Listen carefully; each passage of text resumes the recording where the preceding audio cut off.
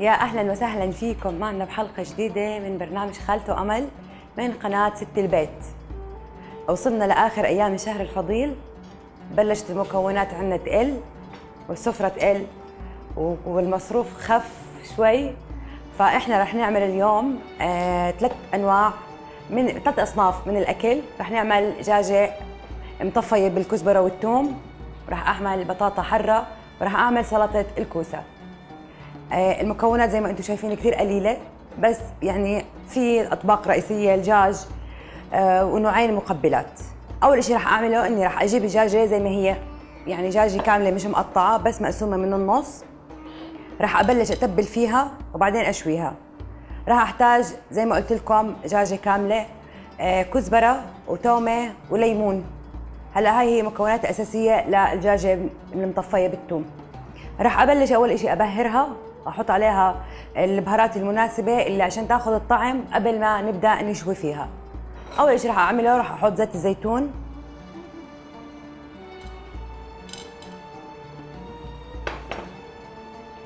من جميع الأطراف. رح أحط الملح. أحط هيل. أول فلفل أسود.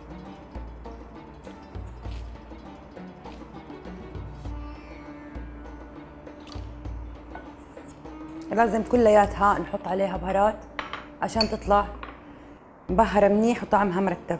هلأ راح أحط الهيل. الهيل مع الدجاج كثير زاكي. بعطيها الطعم الحلو اللي إحنا بدنا إياه. وراح أحط فلفل أحمر.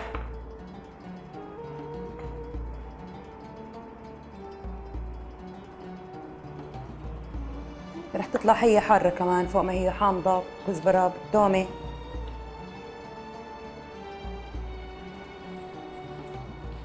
راح أحط شوي من القرفة والبهارات السبعة. إيش ما عندك بهارات بتقدر تحط عليها.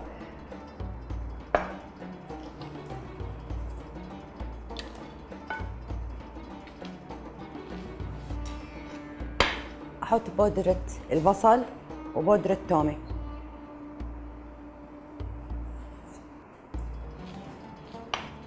آخر إشي راح أحط شوية خل.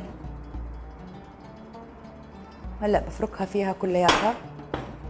راح آخذ شوي بس أغسل إيدي عشان كلهم صاروا زيت. ما راح أعرف أسحب إشي منهم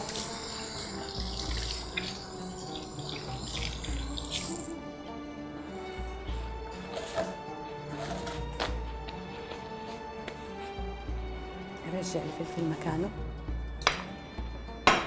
الزيت القرفة.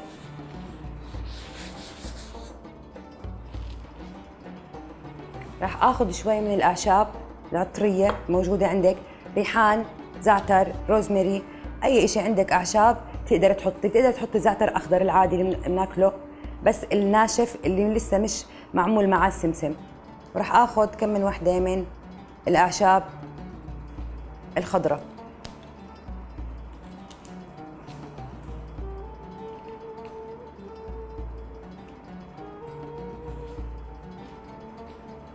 بتعطيها الطعم وبتعطيها لون حلو. هلأ رح ادعك الدجاجه كلها مع بعض من جوا ومن برا عشان البهارات كلها تدخل بقلب الدجاجه من الأطراف اذا بتقدري كمان تحت الجلد تحطي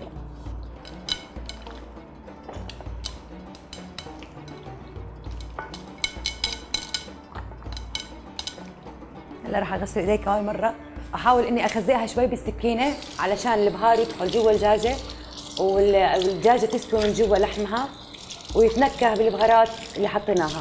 اذا أنا حطيت على الدجاجه ملح وفلفل أسود زيت زيتون خل هيل قرفة بهارات عطرية وحطيت آه، بودرة البصل وحطيت بودرة الثوم وقرفة كمان حطيت. وانت اللي بتحبي تحطي كمان تزيدي عليها بتقدري تزيدي عليها. أهم شيء تحطي عليها كمان اللي قلت لك يا زيت الزيتون والخل بطروا الدجاج وبخليه يستوي أسرع. هلأ رح أشغل تحت الشواي بتقدري تحطيها بالفرن وبتقدري تحطيها فوق إذا ما عندك الشواي. راح أخليها شوي تحمى.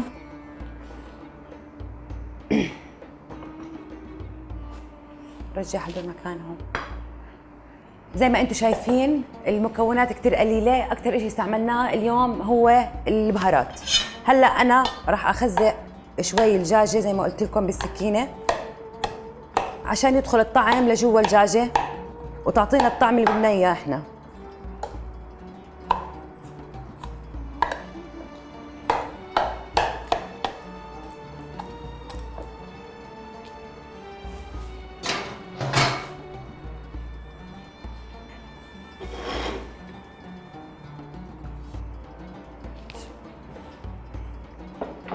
هلا هيك شوي الشواية تحمرت ما مو تحمرت سخنت معنا. راح نحط الدجاجة فيها. خليها هيك ترتاح.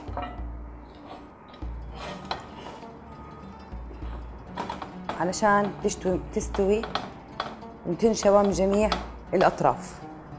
ناخذ الخلطة اللي عملناها ونحطها كمان فوقها عشان تنشوي فيها. وتاخذ النكهة اللي إحنا بدنا إياها. بدها على النار تقريبا نص ساعة تنشوي معك وتستوي فلازم أنت تعمليها قبل الفطور. تكوني لو أنت تبلتي بفضل أنا إنك تتبليها قبليها بساعتين ثلاثة أربعة أي أي وقت بدك إياه كل ما تبلتيها أكثر وتركتيها بالتتبيلة بتتشرب النكهات اللي حطيناها معاها. هلا قبل الفطور بنص ساعة ساعة تبلشي إنك تحضري أغراضها اللي تبلشي تشويها عشان تكون سخنة معاكي على موعد الإفطار. هلا رح نقيم هدول خلصنا منهم. ورح نراقب الدجاجة عشان ما تنحرق كل شوي بنقلبها علشان تاخذ جميع الأطراف اللون اللي بدنا إياه وتستوي كلها مع بعض. شايفين على السريع بلشت. هي الزيت حمي بلش يغلي. راح نبلش نقلب فيها عشان ما تنحرق معنا الله ينور عليك يا أستاذ. راح نضلنا إحنا هلأ ما راح نعمل إشي إلا نضلنا بس نراقب بالدجاجه علشان زي ما قلت لكم تاخذ اللون اللي بدنا إياه بدون ما تنحرق. ريحة كثير حلوة. بدها زي ما قلت لكم نص ساعة. تقدر تقدمي معاها بطاطا مقلية. إيه رح أعمل هلأ كمان نوع مقبلات البطاطا الحارة. بتطلع كمان معاها طيبة كثير متبل حمص فتوش. يعني زي ما قلت لكم آخر رمضان خلاص الواحد بكون الحمد لله رب العالمين. كل الطبخات عملها وخلص زهق من الأكل الدسم. فبحاول إنه نجدد شوي. نغير نخفف قبل العيد لأنه ما في بضلش معك وقت كثير يا دوبك. تنزلي على السوق تشتري أواعي للأولاد وتعملي كعك ومعمول. شايفين؟ هيها عم.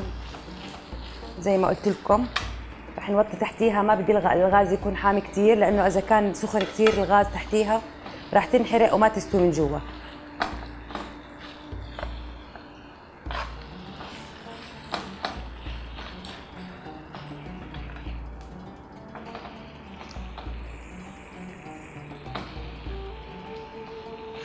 هيك إحنا راح هسه نعمل إشي.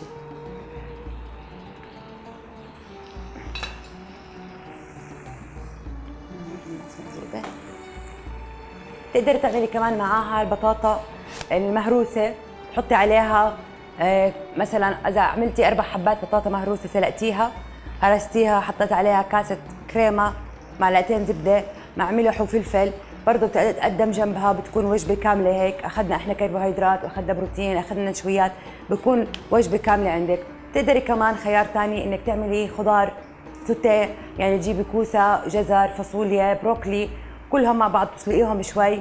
بعدين تقلبيهم بالزيت مع شوية بهارات إيطالية وتحطيها جنبها. يعني في خيارات كثير تتقدم مع الدجاج اللي تكون عندك وجبة كاملة زي ما حكيت لك. ما تحتاري بأمرك إيش تقدمي معاها. هلا رح ارجع أنا اقلبها كمان مرة.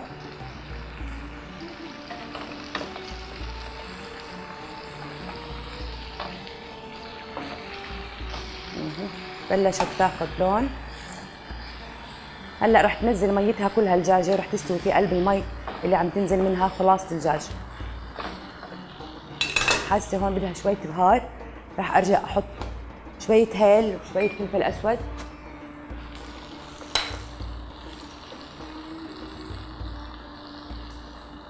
بحب لون الدجاج يكون ما يبين أبيض ابدا. إذا بين البياض تبع الدجاج بتحسي إنه مش مستوي حتى لو كان مستوي من جوا. فالبهارات هي اللي بتعطيكي هذا اللون الحلو. بقدر أحط عليها شوية زيت زيتون كمان. راح يعطيها نكهة وطراوة.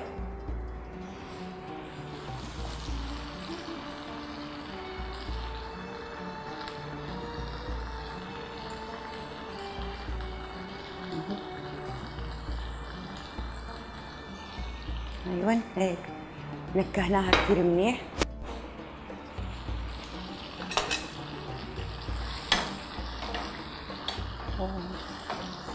خليني أتركها هلأ. أنا أغطيها وأتركها شوي. لأني جننتها قد ما حركتها. هذا المشكلة في شيء أضبه اليوم. المقادير كثير قليلة. أنا بالعادة آخر رمضان خلاص بكون أهلكت من الطبايخ من العزايم فبحاول آخر رمضان حتى ناكل حمص وفول. آخر أيام عن جد كان الواحد ياكل حمص وفول قد ما هو خلاص. الحمد لله رب العالمين طبخنا كل شيء ممكن ينطبخ. العزايم الناس سهرات رمضان. له أجواء أو الواحد بيحزن آخر أيام رمضان إنه خلاص راح يفارقنا هذا الشهر الكريم. آه، خلينا نطلع فاصل ونرجع نشوف الدجاجة إيش صار فيها.